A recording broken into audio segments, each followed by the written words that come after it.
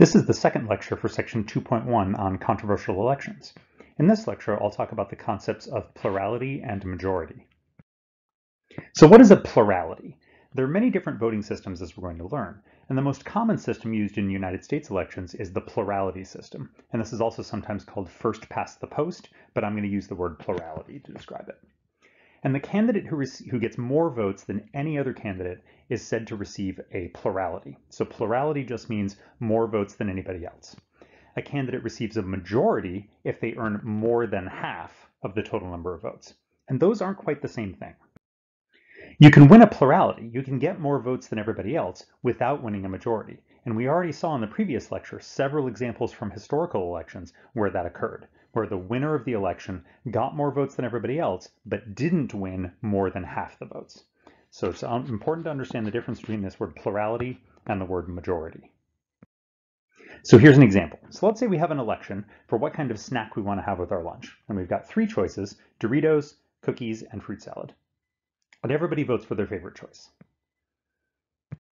And so let's say these are the results. So we had 13 people who voted for Doritos, 16 people who voted for cookies, and 8 people who voted for fruit salad. In this kind of chart, we're going to be seeing a lot of charts like this throughout this chapter. So we're going to have a, a, column that gives the number of voters, that's going to be sort of to the left here, and then what those voters voted for, or what those voters' preferences is going to be listed to the right here.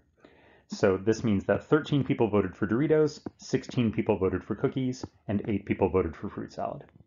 So according to the plurality method, because 16 is the biggest number here, that means the most people voted for cookies, and so cookies wins because it has a plurality. It's more votes than any other candidate. But is that a majority? Well, the way to figure that out is to add up the total number of voters. So if I add 13 plus 16 plus 8 here, that gives me 37. Now remember, majority means more than half. So I take 37 and divide it by 2, and that's going to give me 18.5. So that means to get a majority, you would have had to get more than 18.5, or in other words, 19 or more votes to get a majority. And that didn't happen here.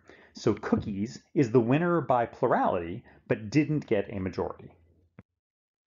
So what's wrong with the plurality? Well, what we're seeing here is that even though 16 people, more than any other candidate, 16 people wanted cookies, we have 21 people and I'm getting that by taking the 13 plus the 8.